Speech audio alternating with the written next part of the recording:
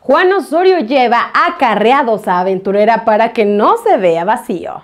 A pesar de toda la publicidad que ha recibido, las últimas funciones de la obra aventurera han tenido una muy baja asistencia, llegando al extremo de contar con apenas 30 personas en el público. Es por eso que ante esta preocupante situación, el productor Juan Osorio ha decidido tomar medidas desesperadas, llevando acarreados para evitar que el montaje luzca vacío y desolado. La situación ha sido tan crítica que el propio Osorio ha tenido que hacerse pasar por parte del público para intentar llenar los espacios vacíos. A pesar de estos esfuerzos, la obra sigue sin atraer a suficientes espectadores, lo que pone en evidencia los problemas que ha provocado que la protagonista no sepa bailar, actuar y mucho menos cantar. En un intento por salvar el proyecto y vender más entradas, el exmarido de Niurka ha comenzado a regalar tortas y jugos a quienes asistan a las funciones.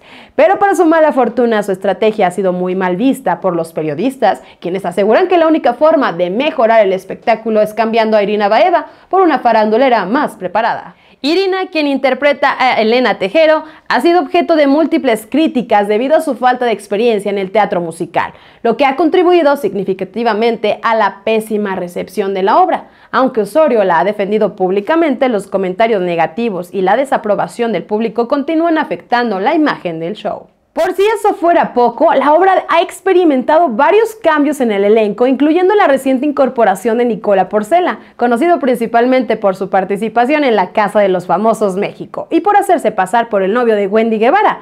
Pero a pesar de los esfuerzos del equipo de producción, los cambios no han sido suficientes para atraer a más espectadores. La ausencia de Carmen Salinas, quien durante años fue una figura emblemática de aventurera, se ha sentido profundamente en esta nueva versión, ya que su capacidad para atraer al público y su carisma eran elementos cruciales que la actual puesta en escena no ha podido copiar, afectando negativamente la popularidad y el atractivo de la obra. Las críticas hacia el montaje que alguna vez fue protagonizado por Edith González no se han limitado únicamente al elenco, ya que la escenografía y los vestuarios también han sido señalados de ser malos y corrientes, lo que ha contribuido a una experiencia teatral menos atractiva y satisfactoria para los pocos espectadores que se han atrevido a pagar un boleto. En medio de esta crisis, Osorio ha prometido nuevos cambios y mejorar para la obra, incluyendo ajustes en toda la producción. Sin embargo, muchos dudan de que su esfuerzo sea suficiente para salvar a Aventurera, por lo que en redes sociales los cibernautas le han comentado que los zapatos de Carmen Salinas le quedaron demasiado grandes. Osorio es un productor con una larga trayectoria en el mundo de las telenovelas, pero la pésima forma en la que se llevó a cabo Aventurera ha generado controversias y cuestionamientos sobre su capacidad para producir teatro, y ha puesto en evidencia que por más que lo intenta, tiene un pésimo gusto para escoger a sus protagonistas. Las estrategias patito de Juan Osorio para llenar el teatro, como llevar acarreados y ofrecer tortas y juguitos, parecen no estar sirviendo, así que seguramente terminarán haciéndole caso al público y cambiando a Irina Baeva por una actriz que en verdad sepa lo que está haciendo.